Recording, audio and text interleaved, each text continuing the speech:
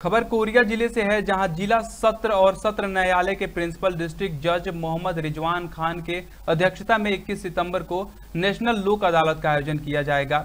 इसी विषय को लेकर आज ज़िले के विभिन्न बैंक प्रतिनिधि, विभिन्न इंश्योरेंस कंपनी समेत अन्य विभाग के संबंधित अधिकारी की उपस्थिति में एक बैठक आयोजित की गई। बता दें कि आगामी नेशनल लोक अदालत में संबंधित विभाग व हितग्रहियों में विवाद की स्थिति उत्पन्न होने पर मामला न्यायालय जाने से पूर्व नेशनल लोक अदालत में सुलझाया जाता है, जिसकी सबसे खूबसूरत बात यह है कि दोनों पक्षों की रजामंदी से मामला का निपटारा किया जाता है। इसमें न किसी की जीत होती है, न हार। इसलिए न्यायालय के निर्देश पर विभागों के माध्यम से नेशनल लोक अदालत का प्रचार प्रसार और मुनादी कार्रवाई की जा रही है। कोरिया से विशाल सिंह की रिपोर्ट। ये लोक अदालत, जिला न्यायालय, बैकुंठपुर, मननगढ़, चिरमिरी, जनकपुर में जितने भी पेंडिंग केसेस हैं, समझौता योग्य केसेस हैं, उसके लिए आयोजित की गई है।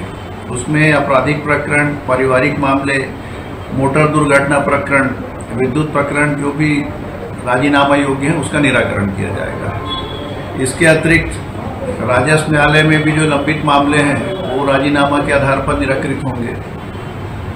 प्री लिटिगेशन से संबंधित मामले बैंक्स के हो गए या अन्य जो वसूली से संबंधित मामले हैं प्री लिटिगेशन के, उसमें जो वसूली की प्रक्रिया है, उसके उसके लिए नोटिस मिलने के बाद जब उभय पक्ष उपस्थित होंगे तो प्री सीटिंग होगी। प्री सीटिंग के बाद उनकी रिकवरी की प्रक्रिया पूर्ण हो जाती है लोक अदालत के माध्यम से।